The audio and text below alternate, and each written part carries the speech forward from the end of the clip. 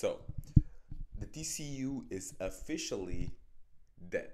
So, um, I'm making this video as sort of um, a remembering type of tribute vi- video to the bumps and highs of the DCU that all started in, in 2013 with Man of Steel, and then in just like one or two weeks ago with Aquaman and the Lost Kingdom. So uh, we're gonna talk about this uh, this universe, uh, everything that it led to and did not lead to, and stuff that this universe did wrong that need to be right for James Gunn's DCU. That's that will officially begin next year with Creature Commandos as an animated series for, for Max, and then the big one in 2025, Superman Legacy. Uh, which is also being directed by James Gunn, of course. So before we get into the video, don't forget to subscribe, leave a like, and comment below what do you think of the DCU. What is your favorite movie from the DCU?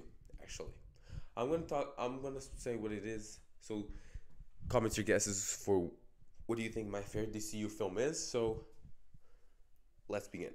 It's the early 2010s, so uh, DC is kind of in a hmm, in that sort of situation where where they don't have much stuff coming out besides animated films, and their all their uh, live action film department is currently down because of the uh, critical failure of uh, Ryan Reynolds' uh, Green Lantern film, uh, which also led to Green Lantern not being adapted into live action for decades. Because I think the next time we're going to get a Green Lantern live action is in Superman Legacy with Nathan Fillion playing Guy Gardner. So yeah, so at that time, DC was really down in sort of in the aspect of live action films. It was more focused on animated stuff and uh, TV shows.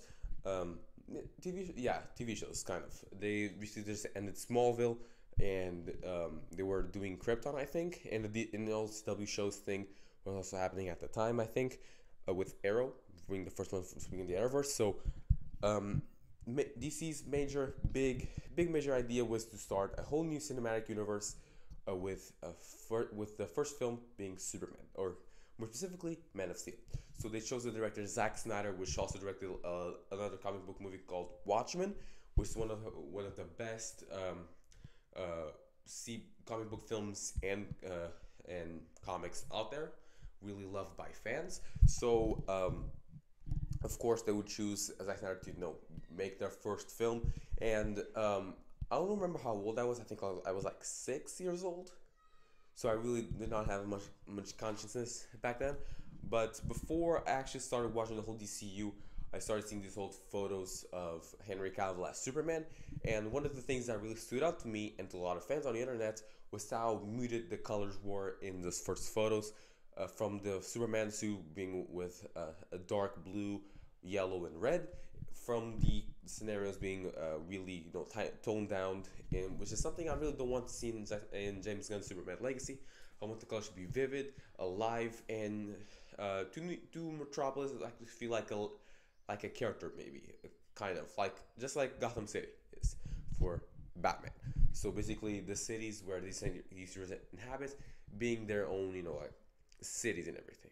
Really enjoyed that film when it came out. Really enjoyed um, uh, Henry Cavill's performance as Superman. Really do think he's perfectly cast.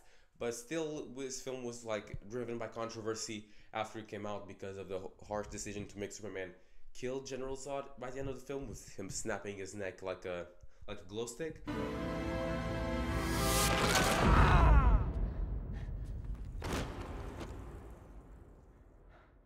So this film, although it was pretty cool, I really did like this take on Superman, especially the flashback sequences. I think were really enjoyable. Um, this film was still driven by controversy, uh, just like the rest of the DCU. Seeing by the uh, controversy that was all all over, was all over Man of Steel, uh, they obviously would you know um, try to uh, set up the next big thing, which was in 2013 at a Comic Con, with which uh, the executives from DC did not really did not talk about Man of Steel much, but they did announce the sequel, Batman vs Superman. I want you to remember my hand at your throat. I want you to remember the one man who beat you. Whoa!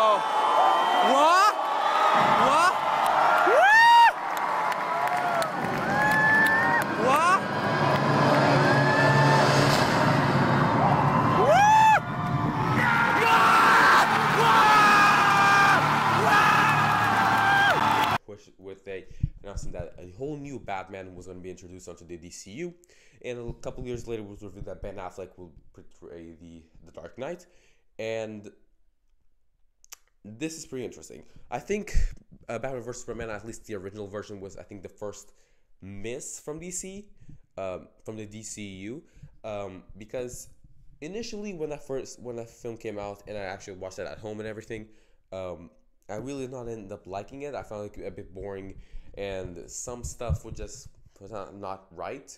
Uh, when one of the things being Jesse Eisenberg's uh, portrayal of Lex Luthor, but um, either way, uh, I really did not enjoy uh, Batman vs Superman, at least the original version.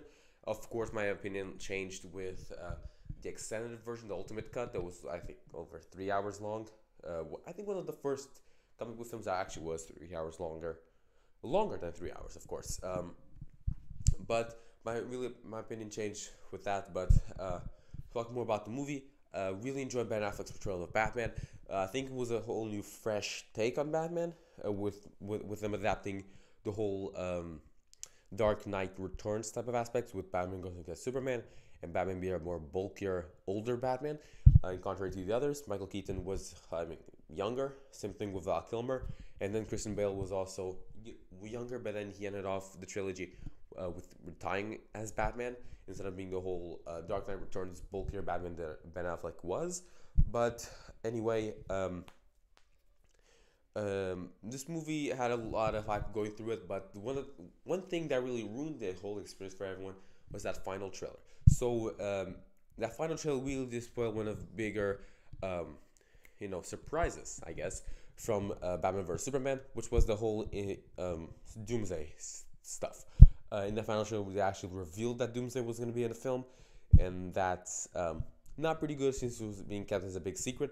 And with Doomsday being revealed for Batman vs Superman, of course, fans uh, started to get what this movie was going to be about. Not only a setup for Justice League, but also a Death of Superman story. Of course, with the uh, original cut being not being so critically acclaimed, of course they would obviously hate the film, and this would be another film driven by controversy, just like A Man of Steel, with this film also being directed by Zack Snyder. So, yeah, during that San Diego, during that Comic Con where they announced, I think, Batman vs Superman, just revealed their own slate for the DC, kind of what Marvel does with their own phases thing, where they, you know, just reveal the slates for every movie, TV show that's coming out. Suicide Squad. So, uh, Suicide Squad is a mixed bag. Um, I find that uh, uh, the movie could have been uh, better, much better, uh, especially with inclusion of David as the director. Um, with a release day cut still being you know one of the trends nowadays, just kind of like the Snyder cut, but for Suicide Squad. But I think this film really had a lot going for it that it did not uh, succeed in that. Um, uh, I think one of the big aspects was uh, the whole inclusion of, of new villains with new actors. I think the biggest thing that was going for Suicide Squad when it was announced was the inclusion of a whole new Joker, and we got that in Jared Leto, uh, which did not make a good Joker. Um, I think we all we can all agree on that that Jared Leto was really not a good Joker.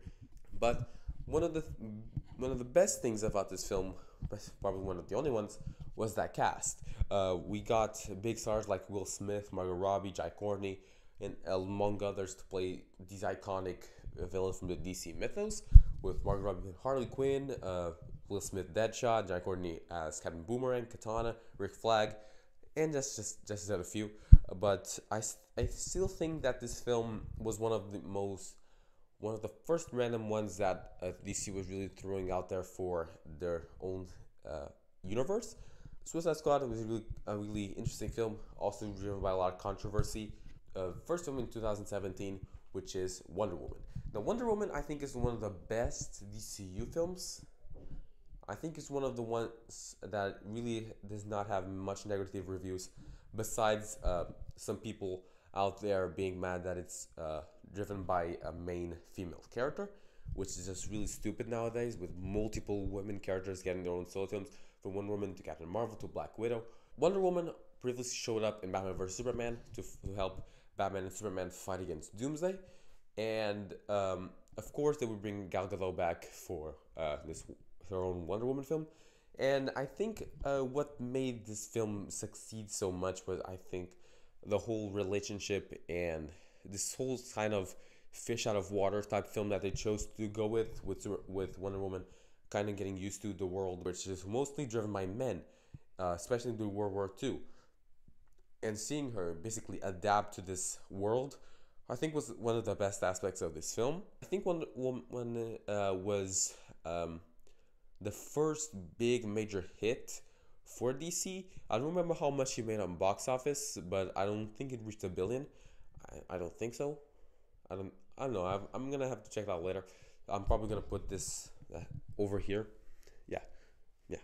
Wh- whatever that made in the box office, but still, really enjoyed this film. Really, uh, w- I think this film really did open up the people's eyes uh, and got them hyped for the Justice League film that will come later down the year. So let's talk about it. So um, Justice League, or mostly known as Justice League. Why, you got a problem? No, there's no problem. Better not be. Kal-El, no. I believe in truth. But I'm also a big fan of justice.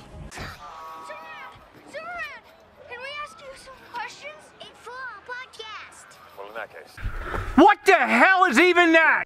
Um, uh, was a film that was uh, supposed to be the conclusion of the whole Zack Snyder trilogy from uh, Man of Steel to Batman vs Superman to now Justice League. And um, Zack Snyder went through a lot doing production of that film, so they had to change the director to Joss Whedon, who directed Avengers. And I think that I don't think that was a good move from DC. Obviously, they had, they had a good idea because he directed the first two Avengers films, which were both uh, successful as hell. Joss Whedon was probably leaning more onto the campy side and a more sexual side of things, which with a lot of uh, weird jokes.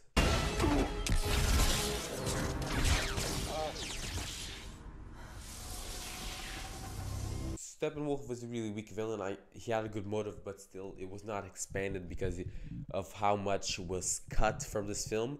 Uh, a lot was cut from this film actually. The year is 2018. Um, pretty much no uh, film until December with Aquaman. And Aquaman was one of the characters that when I went to watch the Justice League in theaters, I really did not end up liking this whole take of Jason Momoa as Aquaman. Um, I always saw Aquaman as this sort of uh, person that was passionate for um, for his people, for Atlantis.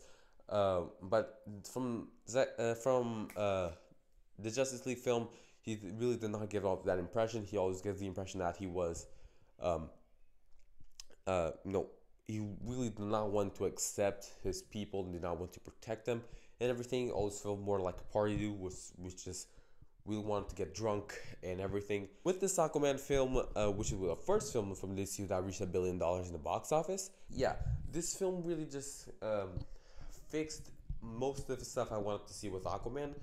Aquaman was still at the start, you know, a person that was not accepted by Atlantis because of his uh, hybrid uh, blood. From that ending scene where Aquaman finally got his suit, stride and everything, and he was there to protect Atlantis from Ocean Master, his half brother. That was the Aquaman I actually wanted to see in the big screen. Uh, but too bad that was just for a little while, uh, just for this film, because later on he uh, continue to get onto that drunk person who does not want to protect Atlantis at all. But still, really love this film. Uh, really, uh, I love to check it check it out every couple of times. Patrick Wilson was great as Ocean Master, and let's not forget Yahya Abdul Mateen II as Black Manta, of course. So the year is 2019, where we got we got Shazam. Uh, this whole story of a kid who, once he says the master word Shazam, he basically turns into an adult and has all these amazing superpowers. And this Shazam film, I think, was made way too early onto the universe, especially if they this universe did succeed. I think the movie should have been made, uh, no, uh, a couple years down the road instead of you know being at the start. A kid turning out to a big superhero, pretty much being everyone's dream as a kid, um, was portrayed pretty well onto the uh, onto the big screen. Well, one thing I have, uh, one thing I have against the film, not against it, But still, one of the things that I really did not enjoy was how much Billy, the main character, changed once he was Billy, um, and when he was Shazam. So basically, when he is Billy, he's this serious kid who just wants to live a normal life, not being foster homes that for people who don't accept him. And once he becomes Shazam, I guess he feels more free. I guess I don't know, but he just starts acting in, a really childish way. But overall, pretty enjoyable film, pretty funny film actually. I really actually love the villain, Dr. Sivana. Uh, but that's pretty sad because in the post scene they were teasing into uh, Dr. Sivana and that worm thing to pretty much be a main villain in the second Shazam film. But that never happened, so 2020, the only film that came out in 2020, Birds of Prey and the Emancipation of One Harley Quinn, which is a really lengthy title, and I don't know why they chose it. I actually have no idea. Seeing from the best aspects from Suicide Squad, of course, DC would use Margot Robbie's brilliant Harley Quinn, uh, you know, portrayal, and of course, we use that in other films, know, hopefully gain uh, money, of course, and you know, possibly expand with her as Harley Quinn in the future. So uh, they will make a Birds of Prey film, which will be inspired from the comics where uh, Harley Quinn would team up with other Batman-related characters, and then um, no, fight crime and everything. And this one, I think, is one of the most underrated uh, DC films, in DC, of course. One of the most underrated ones.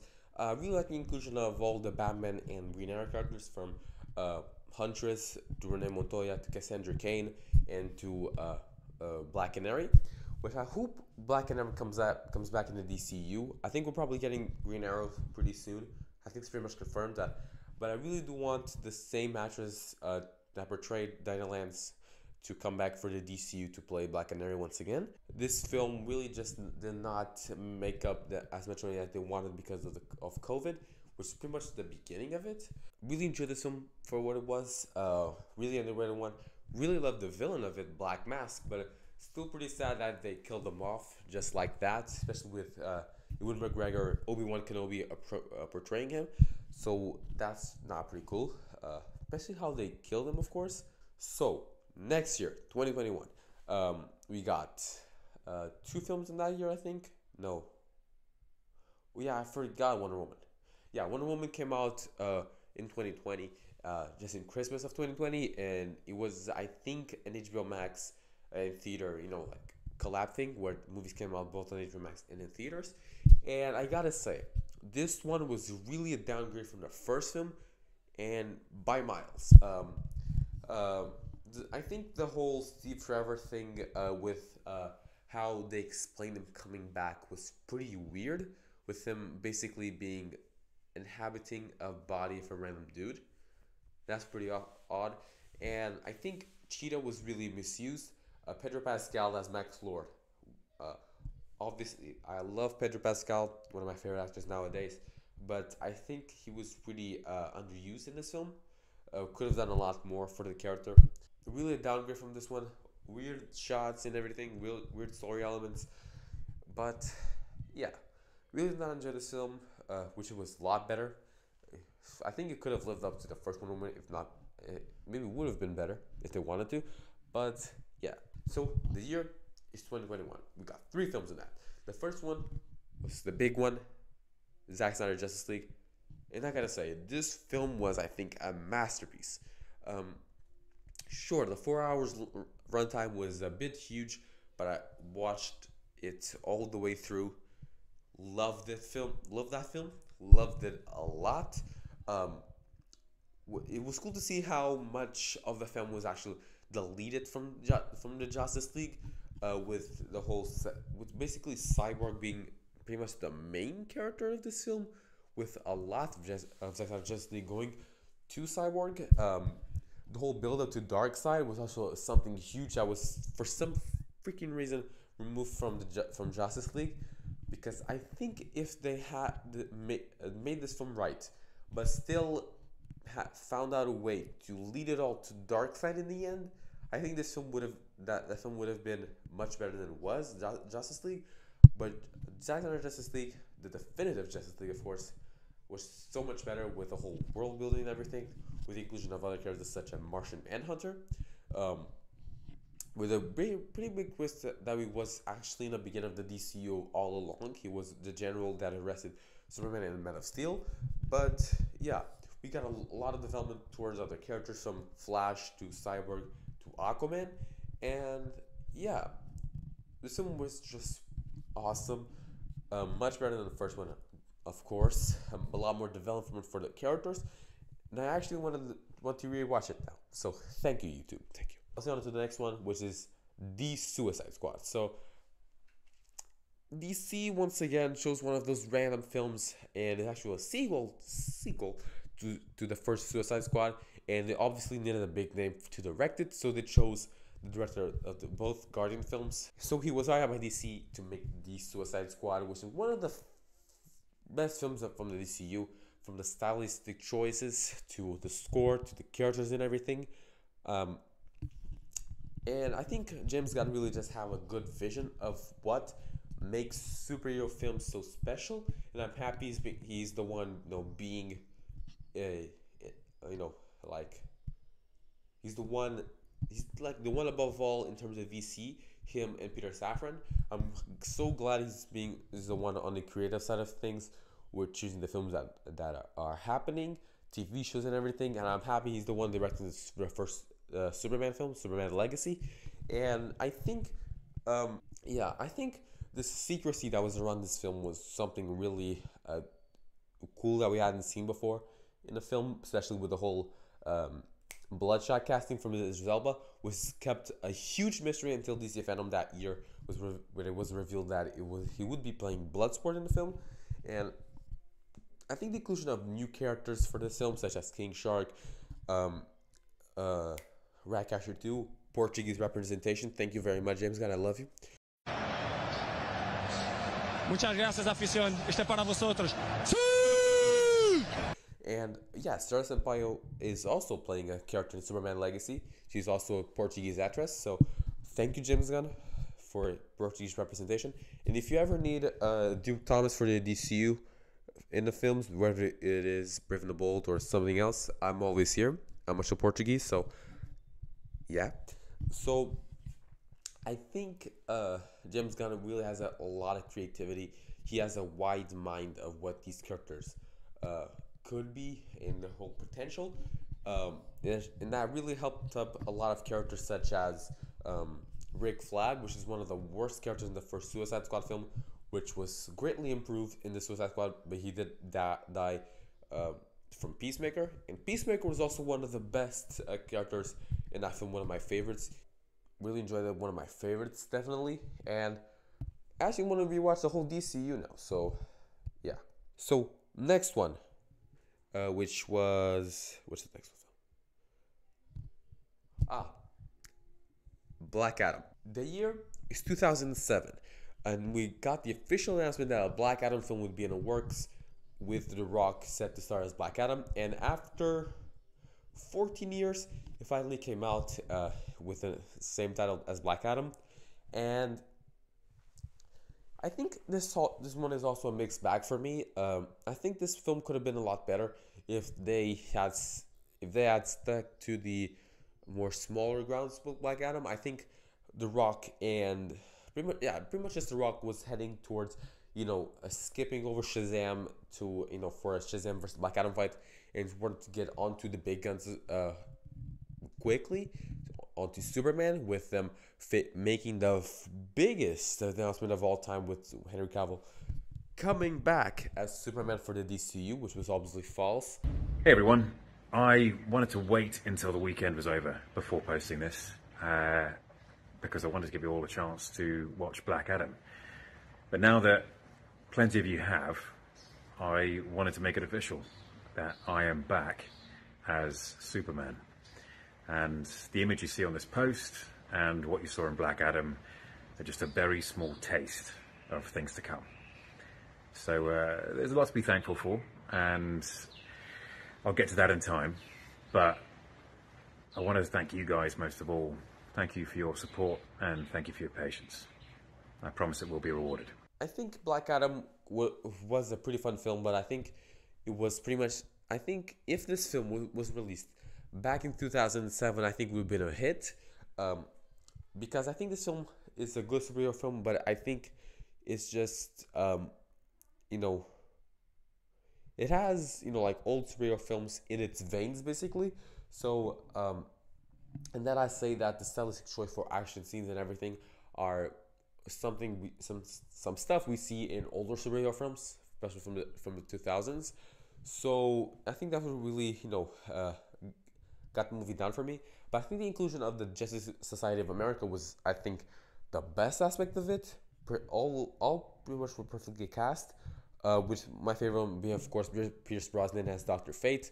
Then Aldis Hodge is Hawkman, of course. Hopefully, see them both in the DCU.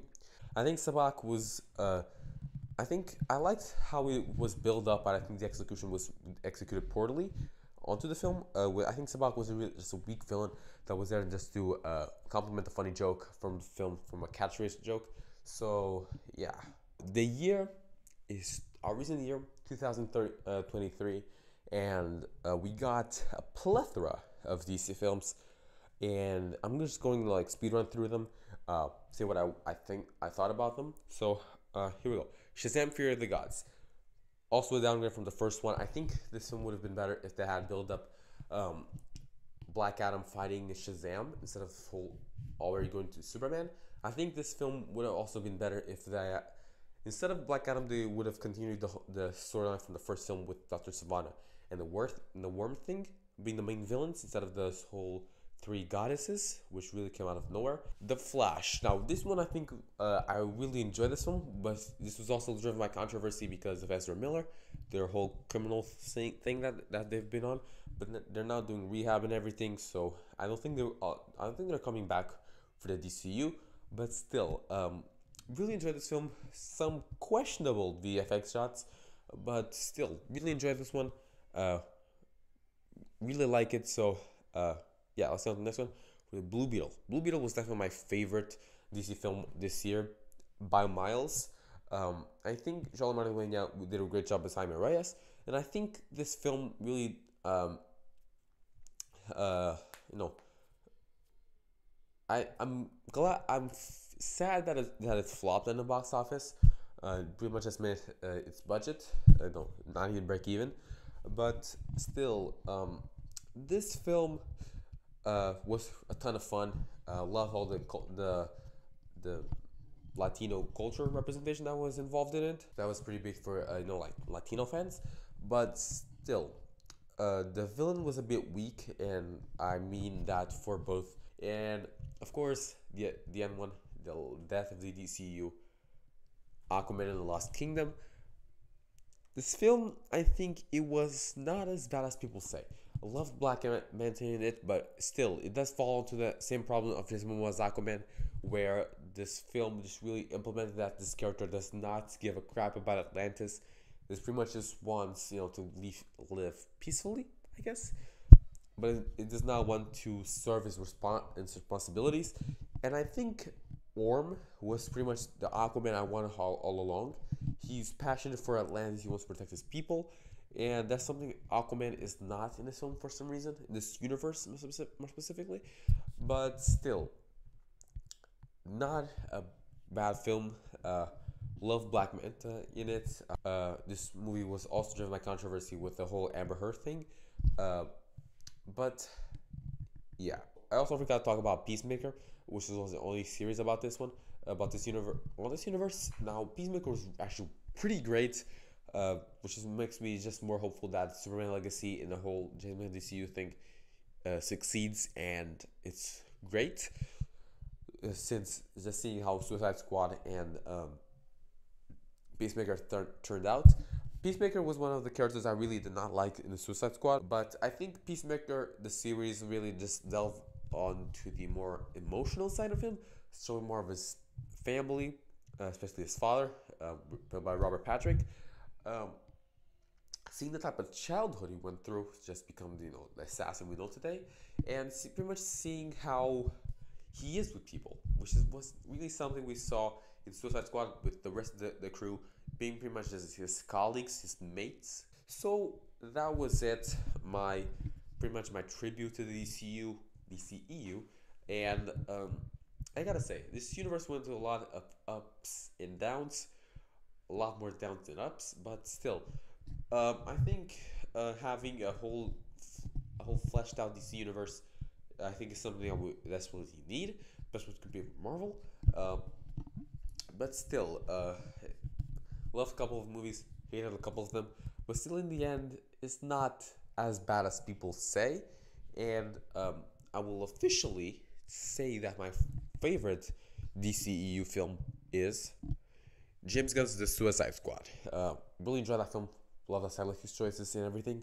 So, yeah, that's pretty much it. So, hopefully, James Gunn su- uh, succeeds in this whole DCU thing, or otherwise, in 10 years, we're probably gonna come back here just to do another one of these videos.